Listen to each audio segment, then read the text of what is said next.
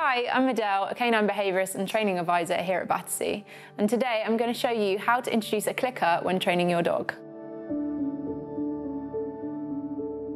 Clickers can be a useful tool for training as they're a clear and concise signal. This allows the dog to recognise that a successful behaviour has been completed and that a reward will follow. Where we usually mark a behaviour with a yes, marking with a click can be far more effective. Clicker training is useful for strengthening known behaviours and teaching new ones, which can be fun for you and your dog. A clicker can also be a clear marker to change the way your dog feels around certain triggers that they might be fearful of. When you click is the key to success. The click must come exactly on the desired behaviour and you must provide the reward within three seconds. If you don't, this could frustrate your dog and reduce the effectiveness of the click. So timing here is key. Before you train your dog, you must train yourself. With help from a friend, you can practice your method and timing. Ask your assistant to bounce a tennis ball. The aim is for you to click the precise moment the ball hits the floor. The ball can be dropped at different heights, speeds, or not dropped at all. This will help to test your accuracy, observation skills, and response times when using the clicker.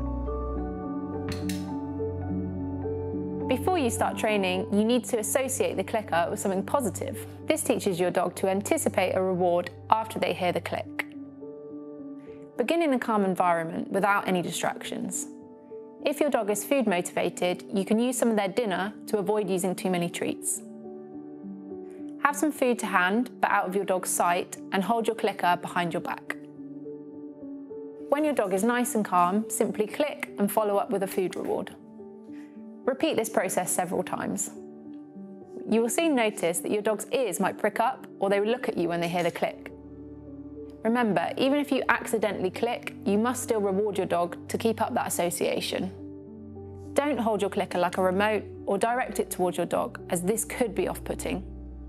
If your dog is noise sensitive, you may need to use the clicker in your pocket to muffle the sound.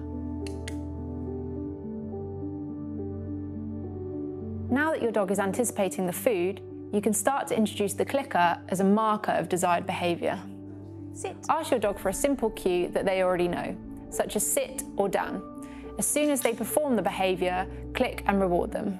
Sit. Practice this regularly over a few short sessions so that you can improve your timing and your dog can get used to using the clicker.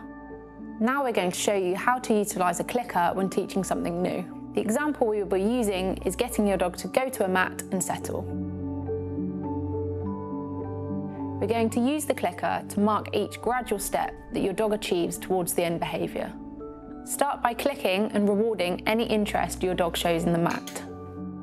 Delay the click until your dog puts a paw on the mat and then click and reward. Repeat this until your dog is reliably putting at least one paw on the mat before you click and reward. Next, wait until your dog puts at least two paws on the mat before clicking and rewarding.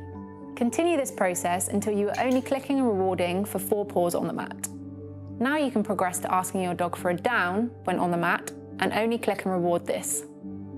For full steps on how to teach this behaviour, see our video on how to teach a settle. When using a clicker for training, try not to say too much to your dog.